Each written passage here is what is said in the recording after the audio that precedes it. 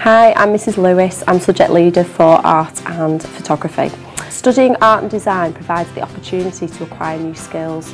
As well as knowledge of different art forms, media and techniques, you can also gain specialist skills in specific art and design areas.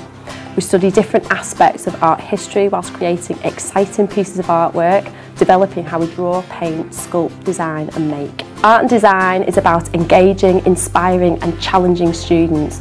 It allows you to study diverse subject fields such as fine art, graphic design, textile, sculpture and printmaking. By looking at a range of different techniques, there's something for everyone. There's no right or wrong outcome as the art subjects encourage self-expression, creativity and individuality. The value of art and design goes far beyond helping students develop their skills with drawing or painting. As they learn, they're developing life skills that will help prepare them for the future, whether they become professional artists or not.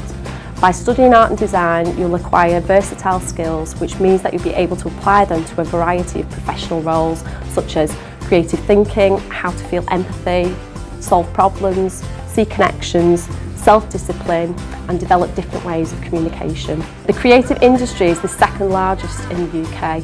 Everything around us has been designed by someone from a creative background, from the buildings around us, the cars we drive, the technology we use and the clothes we wear. Careers in the creative industry include filmmakers, game designers, textile and fashion designers, set and prop designers, animators, curators, art directors, printmakers, illustrators, digital artists, jewellers, graphic designers and web designers.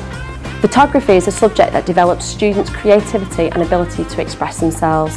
It's a practical subject that requires independent investigation into ideas and other photographers An interest in photography helps students to develop an appreciation and look more closely at the world and their surroundings. The course provides students with a range of creative, exciting and stimulating opportunities to explore their interests in photography. They'll learn a range of research, photographic, lighting and photo editing skills throughout the course.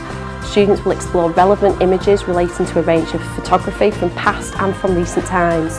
They'll be encouraged to experiment and try out new techniques whilst investigating and developing ideas. Responses will be shown through practical and critical activities which demonstrate photographic and editing skills and an understanding of different processes and terminology.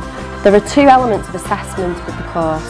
The first will be a portfolio of work which is selected from all the work produced throughout the course and is worth 60%. The second element will be a controlled test which will be a standalone assignment.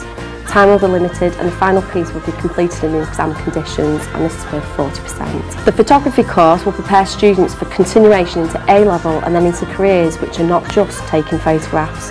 Many employers seek to recruit people who are lateral thinkers and creative problem solvers, qualities that are natural to artists and photographers. Jobs that directly relate include advertising and media-based jobs, graphics, illustration, photography, animation, CAD, fashion, textiles, journalism, theatre, TV and production.